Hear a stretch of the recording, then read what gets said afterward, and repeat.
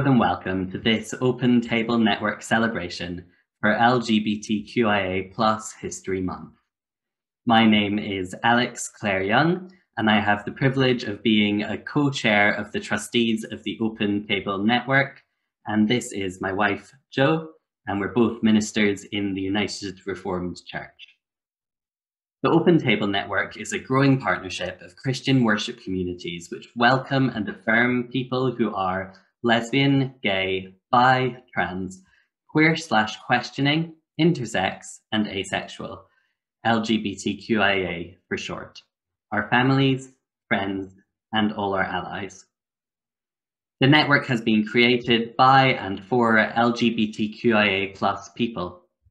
We meet, online at the moment, but usually in person, in inclusive churches, where we find God and each other and have the time and peace to grow together.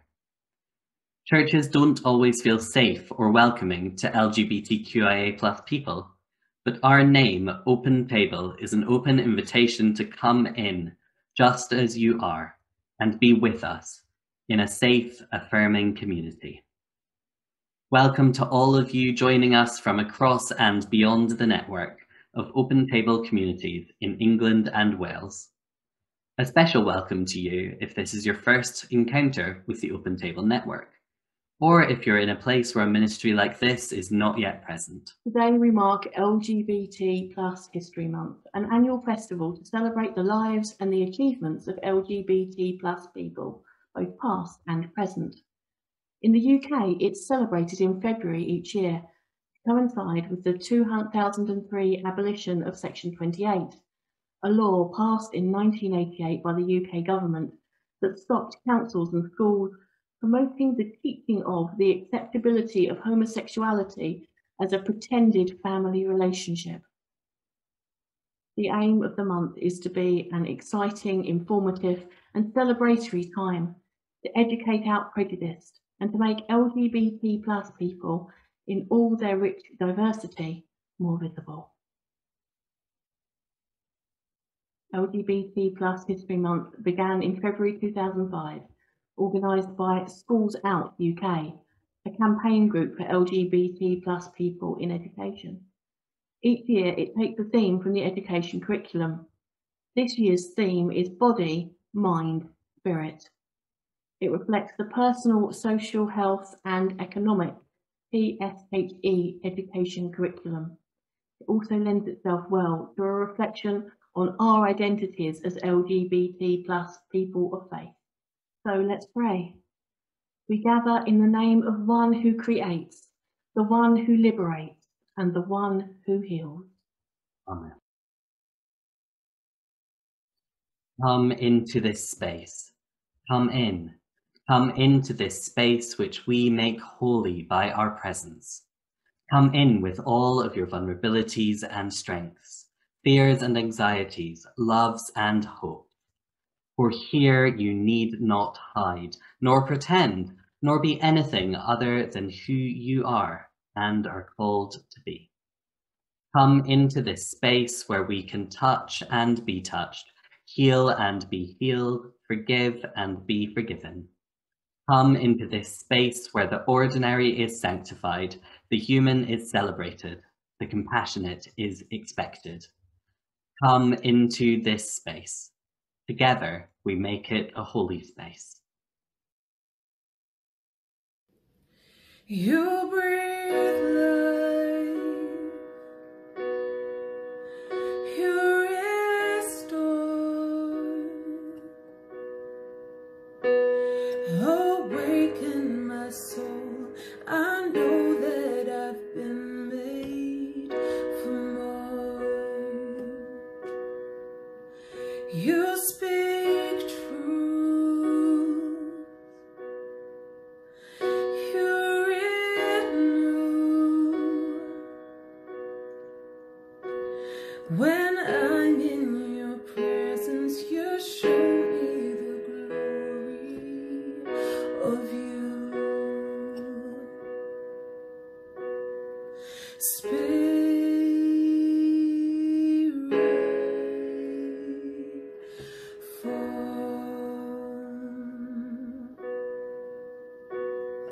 Spirit,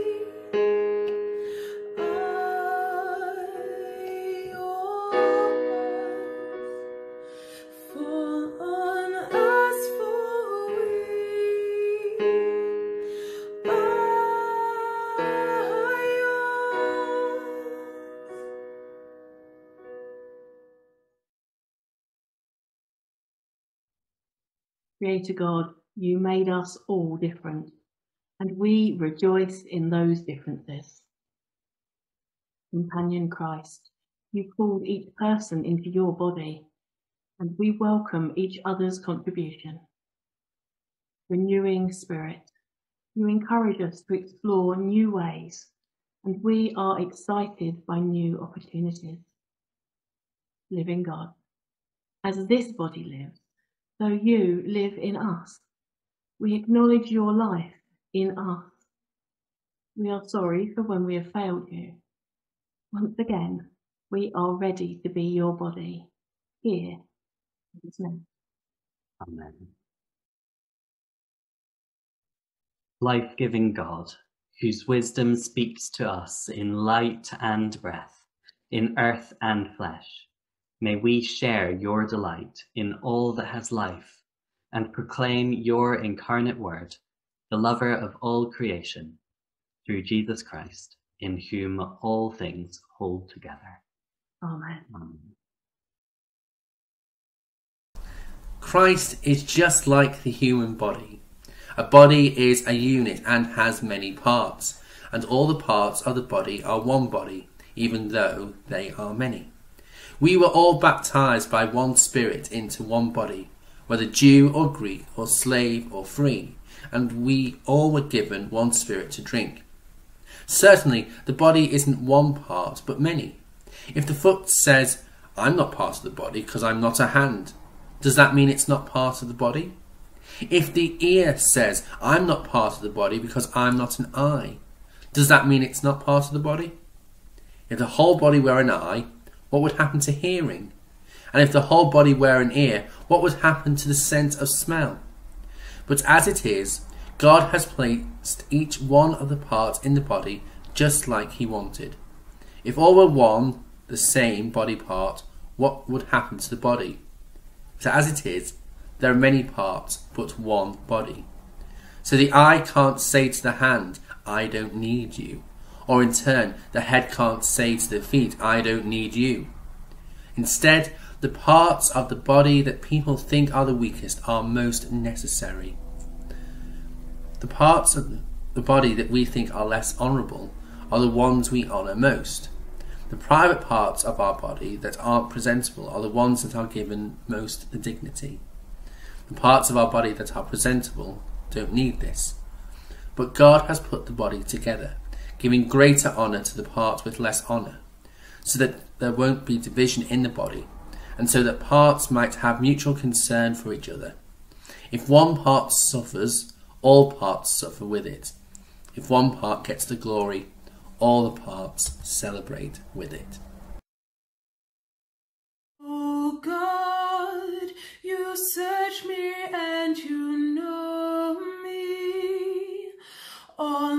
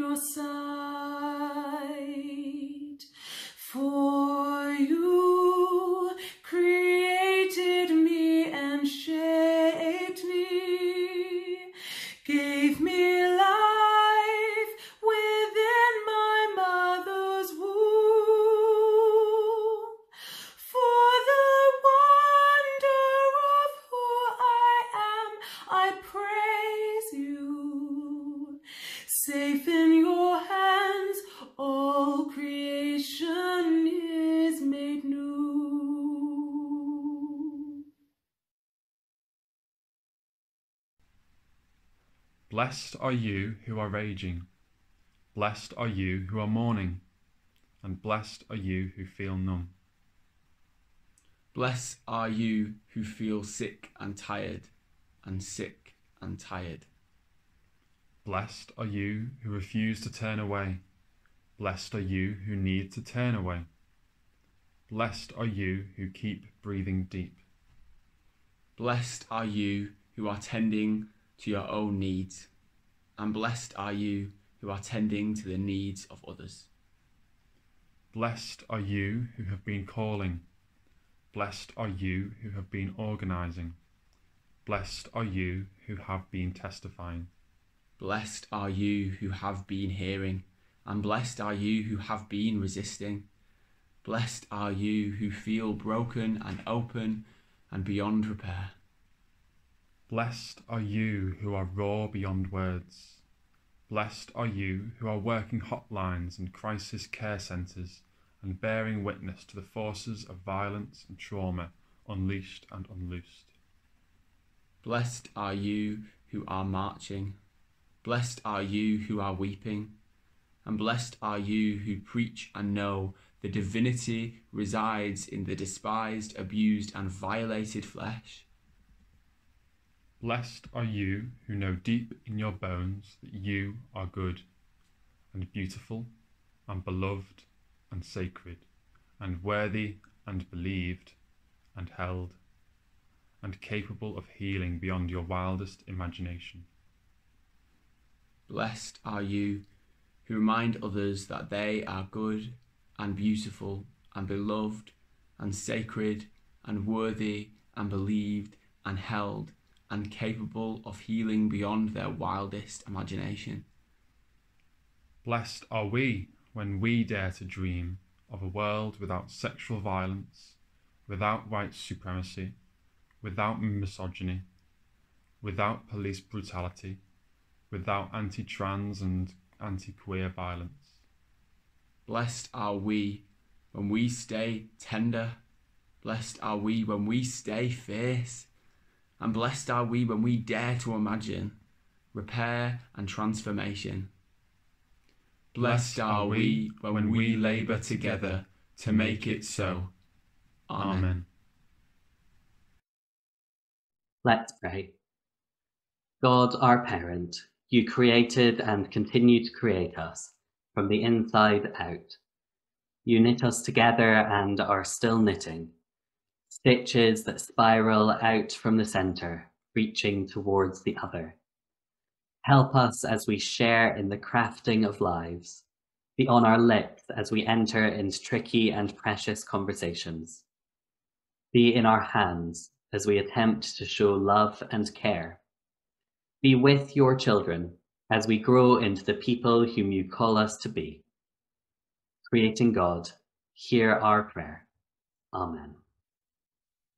This is the third LGBT plus History Month service that I've been part of this year, and I've wrestled with the mind, body, and spirit theme each time, carefully navigating lines about what supposedly can and can't be said in church. In the church, we have often focused on embodiment as being private or none of anybody's business. We shy away from conversations about bodies and nudity, seeing them as impolite or possibly even a safeguarding risk. This isn't only a problem for cis and heterosexual Christians. LGBTQ plus Christian campaigners have often needed to focus on the importance of privacy regarding our bodies and our sex lives in order to highlight how problematic the church's obsession with who sleeps with who is. And we're right to do so. A person's private life is their private life, and it should be an individual's choice what aspects that they choose to share with others.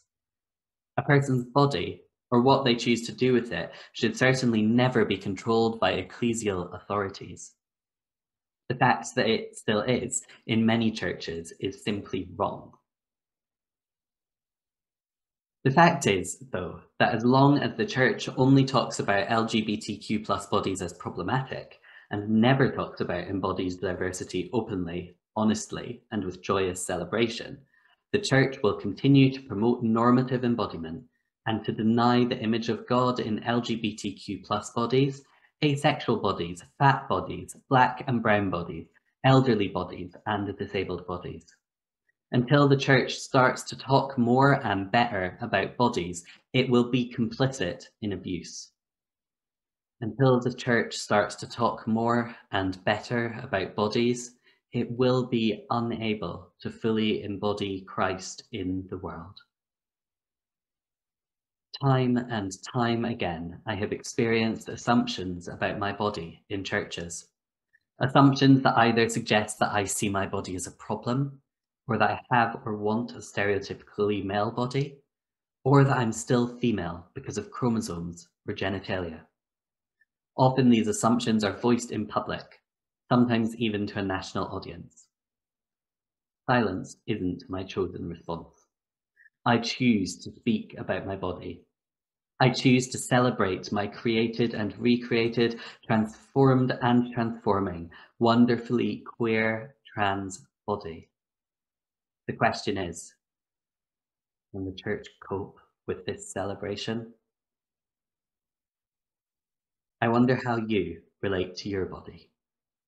I'm going to take you through a time of meditation during which I encourage you to move and think about your body and bring your whole self to God in prayer.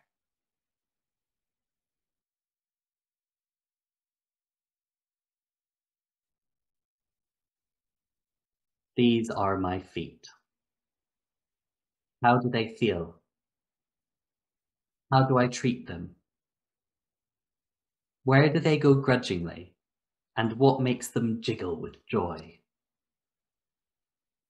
Are they comfortable in my shoes? Can I dust the sand off and leave spaces where I feel unwelcome or unsafe? I love myself. I am becoming myself. I am loved. I am enough. These are my legs. How do they feel? How do I treat them? What makes them ache and sting? Is it necessary? Am I growing? Do they do what I wish they would? Am I patient enough with them? Do I feel that they are a part of who I am? I love myself. I am becoming myself. I am loved. I am enough. This is my center. How do I feel? How do I treat myself? Do I force my body into situations or clothes that restrain or hurt it? Has someone else hurt me? How can I make myself feel whole again? Am I ready to learn to love myself? I love myself. I am becoming myself. I am loved. I am enough. These are my arms. How do they feel? How do I treat them? Are they strong and aching? Are they long and gangly? Are they full and soft? Where are they scarred? Have they been broken? What loads do I carry, sometimes unseen? I love myself. I am becoming myself. I am loved. I am enough. These are my hands. How do they feel? How do I treat them? Are they agile and quick or slow and tired? Who do I touch? How do I touch? Do my hands belong to me? What can they do for me? What can they do for others? I love myself. I am becoming myself. I am loved.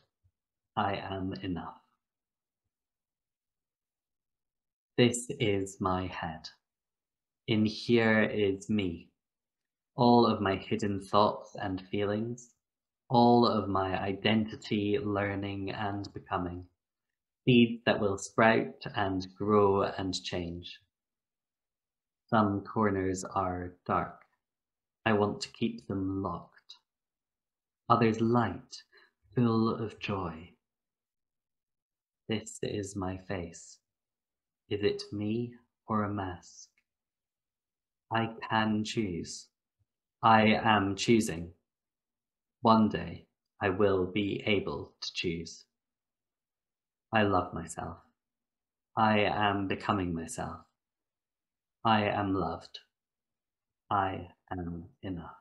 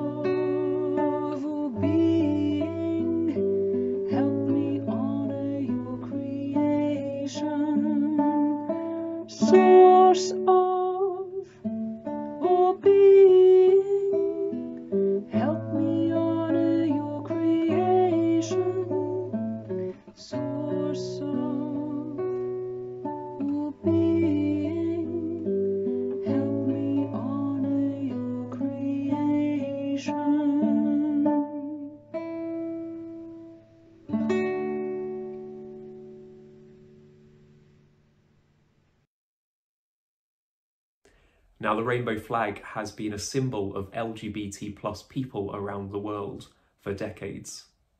Just as white light is made up of the many colours of the rainbow, so too is our community made up of many different types of people.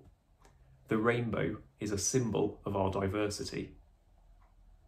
And the pride flag was first created in 1978 by the artist Gilbert Baker for the San Francisco Gay Freedom Day Parade. Gilbert Baker assigned each of its six colours a particular meaning that resonated with the lives of LGBT plus people. And so, for our intercessions, we'll be using these colours and these meanings to guide our reflections. So, let us pray.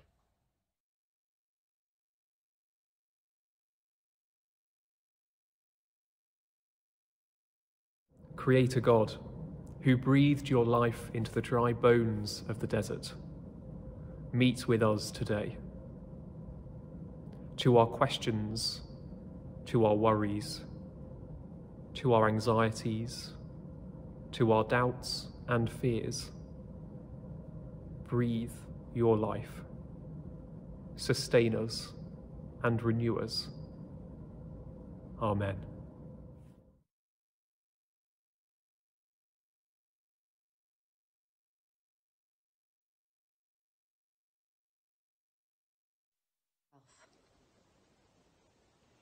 Lord Jesus, our great healer, we pray for our LGBTQIA siblings all over the world who are suffering today.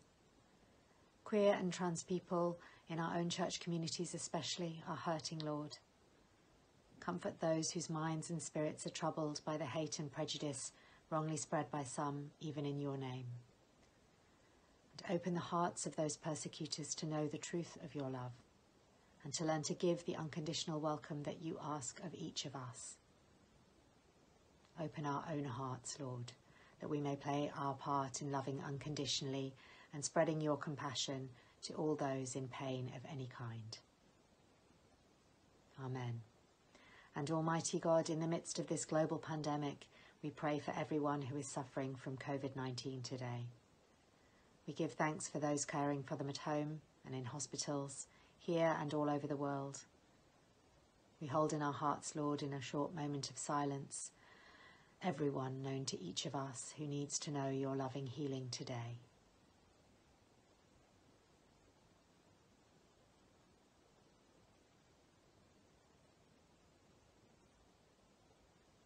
Amen.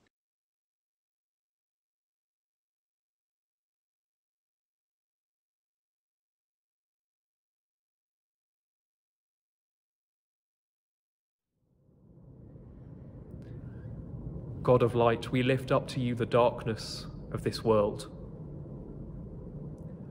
We lift up the injustice, the pain, the hurt, and the sorrow. May your light shine in this darkness. May your light shine through us to the world around us, evermore. Amen.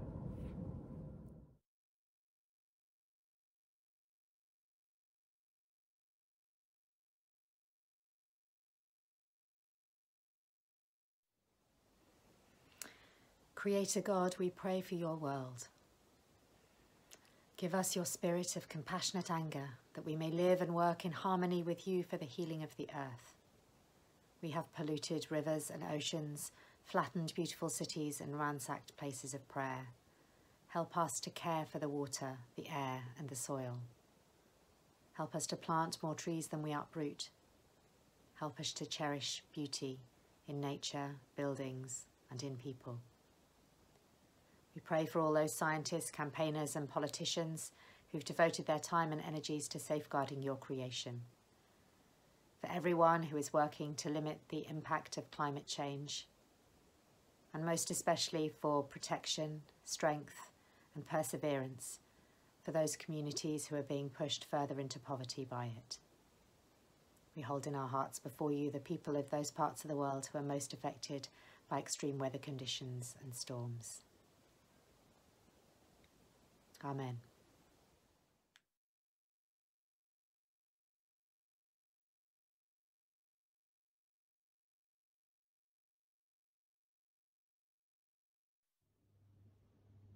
Lord God, you are the divine creator of all, and the artist who made the colours themselves, the uniqueness of the long-necked giraffe, and the beauty of the delicate butterfly. Last year has been hard for all the creators you created. With theatres, galleries and cinemas closed, there have been no audiences for the things being made. May you bless those whose living depends on those audiences and give them creativity even without them. May this year ahead be one of creative abundance in ways we've not been able to imagine. In Jesus' name, Amen.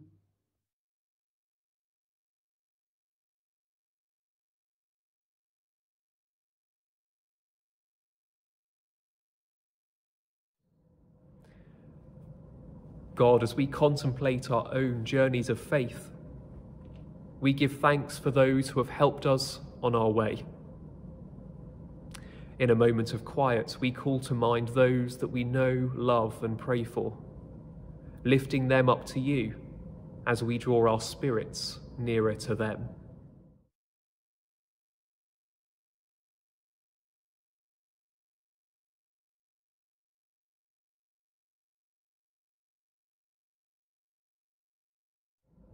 God of the rainbow, bind us together. Amen.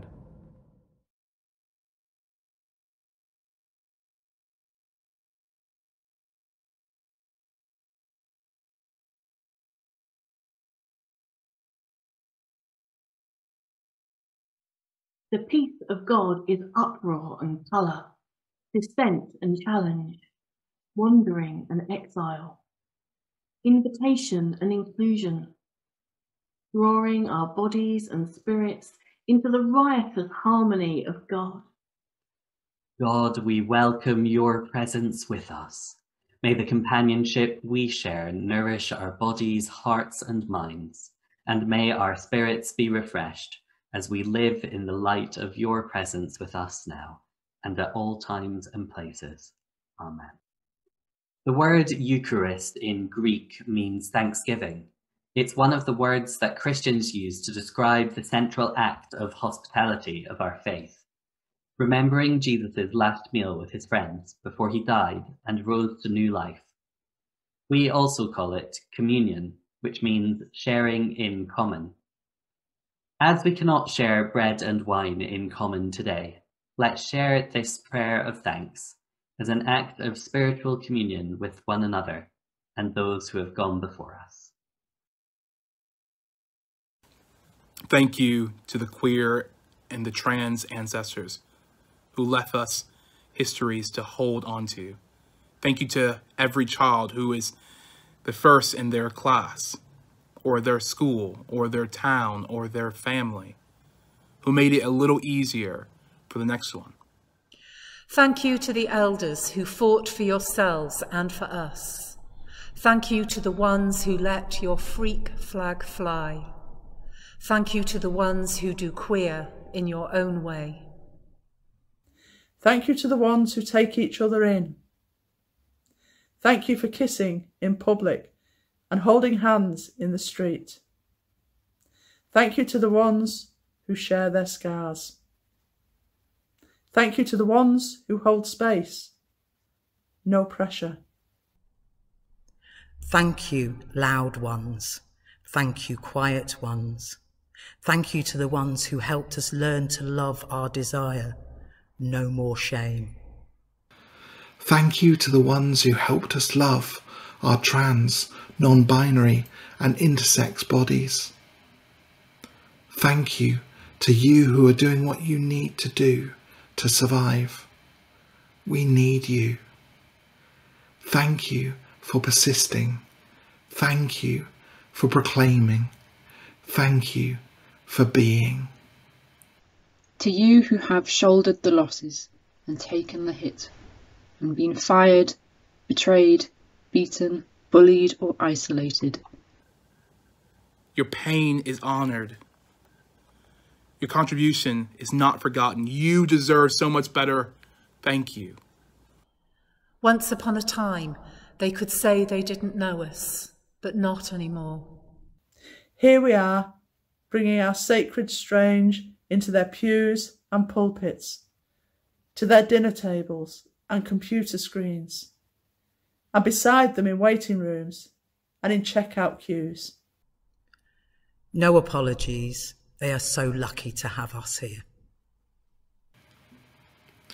Thank you to you who are yet to come, who will expand our understanding and help us love more deeply ourselves and each other.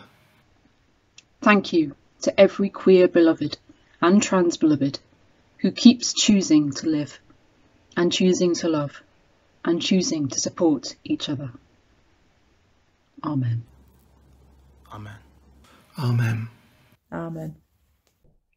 Amen. Thank you to all who have contributed to making this online gathering possible. Too many to mention all by name, but you will get a mention in the credits at the end. While you're here on our YouTube channel, why not subscribe to receive notifications of future updates? If you'd like to keep in touch with the Open Table Network, please subscribe to our e-news on our website, opentable.lgbt, where you will find details of all our communities across England and Wales. If you're able to support the growth of the Open Table Network, you'll find details of how you can do that on our website and in the description on this video. So let's go from this space, assured of our place in the love of God, the body of Christ, and the joy of the Spirit. God, we give you thanks for this fellowship that nourishes us in body and spirit, and for these bodies of ours through which you take on flesh. May our gratitude produce faithfulness, and our faithfulness produce justice. Amen. God, who made us in your image, Teach us to love ourselves as you love us. God, who made us in your image, Allow us to show that image to the world. God, who made us in your image, Help us to see your image in all those we meet. God, who made us in your image, Teach us to conserve and protect all your creation. God, who made us in your image. Bless, protect, and keep us and all your children safe. Amen.